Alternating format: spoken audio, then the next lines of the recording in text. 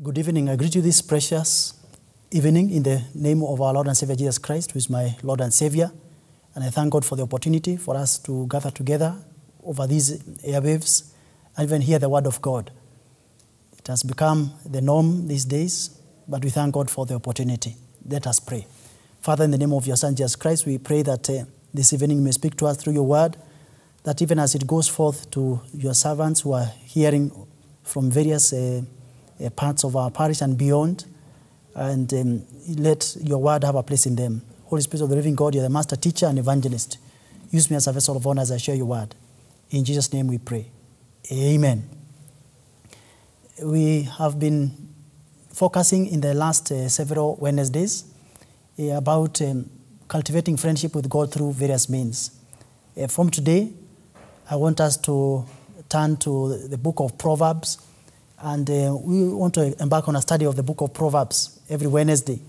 And uh, from this study, we want to glean uh, from um, the, the Proverbs the insights that are there of wisdom that will anchor us in our faith in God, as well as aid us in navigating successfully through the labyrinth of uh, challenges that life brings to us each and every day.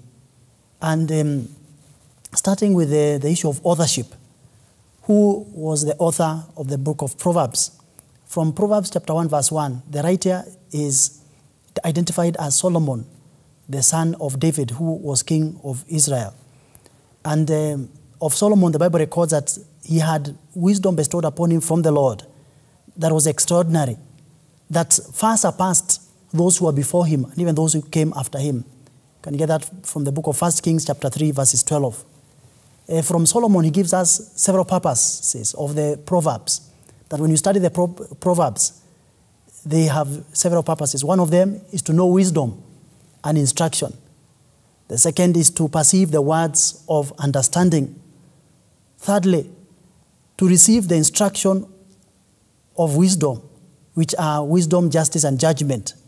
Fourthly, to receive instruction on prudent behavior, that is, doing what is right, just, and fair. Fifthly, they give insight, uh, smartness uh, to the inexperienced, and discretion or knowledge to the youth. Sixthly, the study of the Proverbs.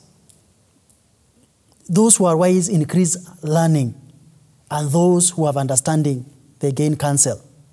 So, today, from the uh, book of Proverbs, chapter 1, verse 1, we want to focus on one thing we can learn from it. The fear of the Lord is the beginning of wisdom. What does this statement mean? The chief thing that is that this wisdom cannot be attained by any individual who does not have the fear of the Lord in him. So, therefore, a question to pose is this What do we mean by wisdom? From a biblical standpoint, wisdom is the abilities granted by God to people in different aspects of life. One example would be craftsmanship, such as that, that was given to two people in the Old Testament who are expressly named in the book of Exodus, chapter 35, verse 1 following. These were Bezalel and Aholiab.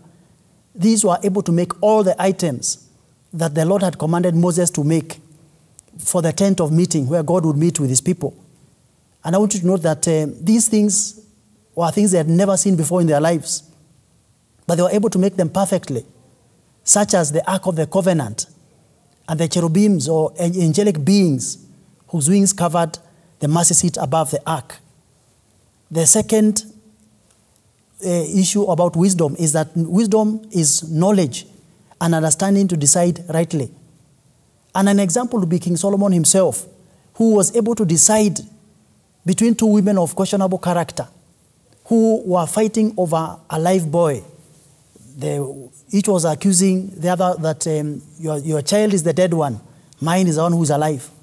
So Solomon, using the wisdom that God had given him, was able to judge between the two of them and um, was able to know how to discern the rightful mother of the child and restore the child to its mother. You can get that in the book of 1 Kings, chapter 3, verse 16 through 28.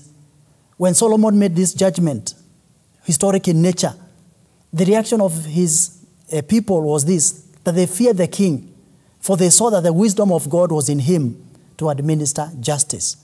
For God to bequeath Solomon this, with this wisdom, what had transpired? Did Solomon fear the Lord? In the book of 1 Kings, chapter 3, verse 3, this is what it says of him. And Solomon loved the Lord, walking in the statutes of his father. Thereafter, Solomon went to a high place that was at Gibeon, and he offered a thousand burnt offerings at that altar. Later that night, the Lord appeared to him in a dream and, and said, Ask what I shall give to you. And what a privilege. Solomon asked for wisdom. He did not ask for, for gold, he did not ask for riches, he asked for wisdom. So he had touched the heart of God. And um, he was offering these sacrifices with an intent to please the Lord. He was not asking for silver or gold, but for a wise and understanding heart. And this, my friends, was granted to him. It was granted to him. On another occasion, Solomon offered 22,000 bulls and 120,000 sheep as burnt offerings to the Lord, leading to the Lord appearing to him a second time at the dedication of the temple. 1 Kings chapter 9, verses 1 through 9. Therefore, it is plainly clear that the wisdom granted to Solomon was because of his fearing the Lord. A question then to pose to you and I do you fear the Lord? Do your decisions reflect that fear? If yes, then you and I can boldly come to the Lord and ask for wisdom, and He will graciously grant it to us. If we genuinely love the Lord, He will be willing to bestow upon us His best gifts, wisdom included. And uh, to retain that wisdom of the Lord, it is important to always be in that mode of fearing the Lord. Moreover, what does it mean to fear the Lord? Proverbs chapter 8, verses 13 says, To fear the Lord is to hate evil. So if I fear the Lord, I will hate what is wrong in His sight, such as what the Lord, the, this word says. I, I hate pride and arrogance, evil behavior, and the perverse mouth. That is the mouth that speaks lies. So you cannot say that you and I fear the Lord if you constantly do what is obnoxious in His sight. May God help you and I to genuinely fear Him and thereby acquire the wisdom that comes from Him. Unfortunately, Solomon in his old age veered off the path of the fear of the Lord. How did this come about? The Bible says that he had many wives, and these wives turned his heart away from God. That is when they began to coerce him to build for them altars of the gods from the lands in which he had brought them from. 1 Kings chapter 11, verse 1 through 8.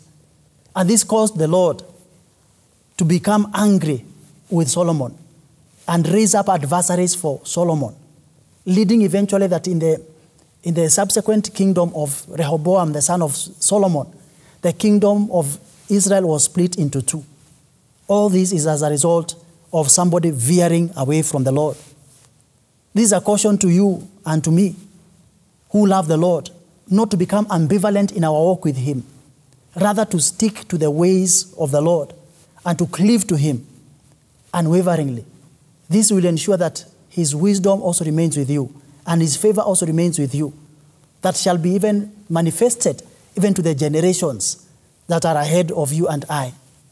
This is but one nugget that we can glean uh, from, um, from the, the, this, the, the, Proverbs. And I believe as we co- continue with this journey of walking through the Proverbs, that we shall learn many, many more things, such as what we have learned today that the fear of the Lord is the beginning of wisdom. And uh, the Bible also says that, and a good understanding have all those who keep his commandments. Therefore, my friend, cultivate that fear of the Lord, and his wisdom shall be yours to have. With those few or many words, have a blessed evening as you contemplate on these words. Let us pray. Father, in the name of your Son Jesus Christ, we thank you because you said that your word shall never return to void, rather, it shall accomplish what your purpose for it. Help us, O Lord, even to glean from your word, even nuggets of, of wisdom, of counsel, of understanding, and such as what you have spoken to us this evening about. That the fear of the Lord is a beginning of wisdom. Help us even to walk in your fear. As you have also told us uh, to To fear the Lord is to hate evil. Help us to hate everything that is obnoxious in your sight. Whatever that you point to us that as being wrong, help us even to shunt it aside and thereby walk in ways that are pleasing before you. And when this happens, O Father, may it please you to continue to bestow us upon us your wisdom, your discernment, and your, your ability even to do great and marvelous things that shall bring glory to your name. Hear this our prayer of faith. For it is in your name, Jesus Christ, we do pray, trust, believe, and give thanks. Amen and amen.